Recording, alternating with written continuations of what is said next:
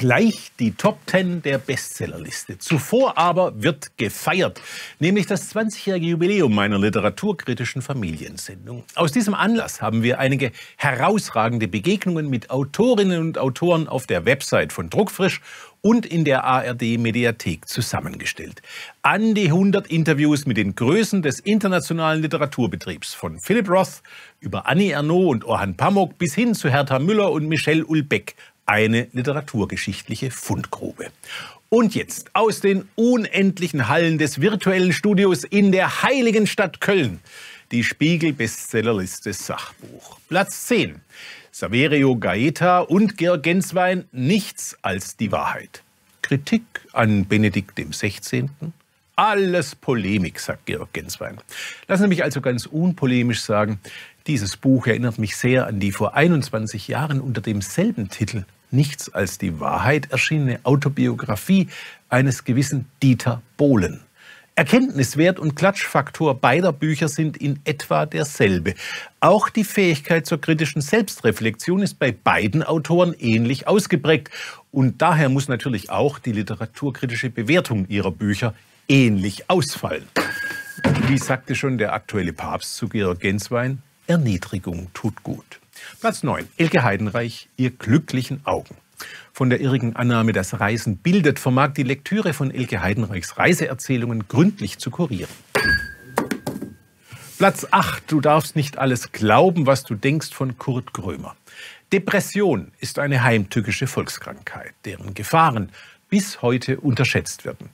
Insofern dieses Buch darauf aufmerksam macht, ist es zu loben. Weil Kurt Grömer für seinen Erfahrungsbericht aber eine für mich indiskutable populistische Anwandssprache und Form wählt, legt sich dieses Buch selbst als Schatten auf meine Leserseele. Platz 7. Dorothee Röhrig, du wirst noch an mich denken. Wie taktvoll und doch aufrichtig man die eigene Geschichte erzählen kann, beweist Dorothee Röhrig in dieser Liebeserklärung an eine schwierige Mutter, so der Untertitel. Meine Mutter war die ältere Schwester von Klaus von Donani und Christoph von Donani. Sie starb vor fast sieben Jahren, kurz nach ihrem 90. Geburtstag. Ihre Eltern, Hans und Christine von Donani, geborene Bonhoeffer, waren maßgeblich am Widerstand gegen Adolf Hitler beteiligt. Er wurde am 9. April 1945 hingerichtet, wie auch sein Schwager Dietrich Bonhoeffer, ein Bruder meiner Großmutter. Dorothee Röhrig nimmt sich in ihrem Buch vor, die Rolle der Frauen in dieser Familiengeschichte auszuleuchten. Ihr gelingt ein gleichermaßen fesselndes wie psychologisch nuanciertes Familienporträt. Platz 6. Henry Duke of Sussex Reserve. Ich dachte, über dieses nichtige Buch sei alles gesagt, bis mein Landsmann Harald Schmidt mich darauf aufmerksam machte, dass Prinz Harry ja einen schwäbischen Bestseller geschrieben hat. Das Buch heiße schließlich im Original Spare. In jedem Fall sparen sollte man sich die 26 Euro für diese Eigenreklame. Platz 5. Jail Adler Genial Vital. Ein lebendig, bisweilen also flapsig geschriebener, aber kompetenter medizinischer Ratgeber, der in leicht zugänglicher Sprache Tipps gibt, wie man durch Sport, vernünftige Ernährung und gesunden Menschenverstand ein langes Leben und ein gutes Alter genießen kann. Ich habe beim Lesen keinerlei Risiken oder Nebenwirkungen verspürt. Platz 4. Kerstin Scherer erwacht. Eine so durchgeknallte Esoterik-Abzuckerin wie Kerstin Scherer kannte ich vor Lektüre dieses Buchs in Deutschland nicht. Kerstin Scherer arbeitet mit den miesesten Mitteln der jahrtausendealten Manipulationstechniken von Kristallkugelseherinnen, Eingeweideschauern oder Kartenlesern. Es ist schlicht eine intellektuelle Schande für unser Land, dass sich so ein krudes Manipulationswerk einer ausgekochten Abzockerin im Jahr 2023 auf der deutschen Bestsellerliste findet. Sind wir wirklich so doof?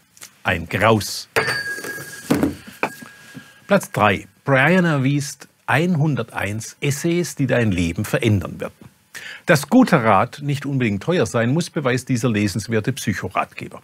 Manche Tipps erinnern zwar an Binsenweisheiten, aber darüber nachzudenken, wie wir uns just durch unser Denken immer wieder ein Bein stellen, schadet nicht. Platz 2, Bas Kast, Kompass für die Seele. Wie schon in seinem Ernährungskompass fasst Bas Kast in flotter Schreibe neueste wissenschaftliche Studien zusammen und ergänzt sie mit autobiografischen Anekdoten.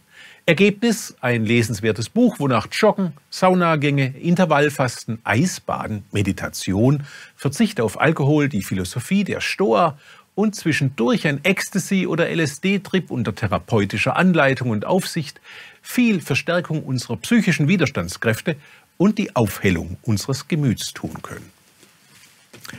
Platz 1. Dirk Oschmann, Der Osten, eine westdeutsche Erfindung. Ein berechtigter Aufschrei auf diskursanalytischer Basis über die Erfindung eines Mangelwesens.